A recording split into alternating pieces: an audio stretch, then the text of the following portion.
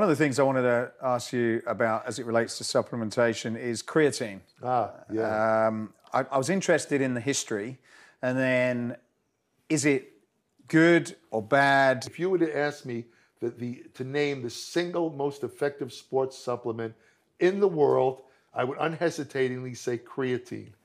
Stimulates uh, processes in muscle that build real muscle. For example, creatine stimulates a hormone called insulin-like growth factor 1, which is produced directly in muscle. It's produced when muscles damage. What it does is it stimulates the activation of what they call satellite cells.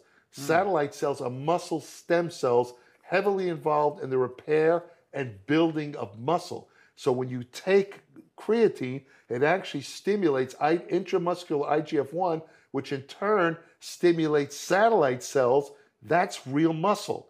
That's an anabolic effect,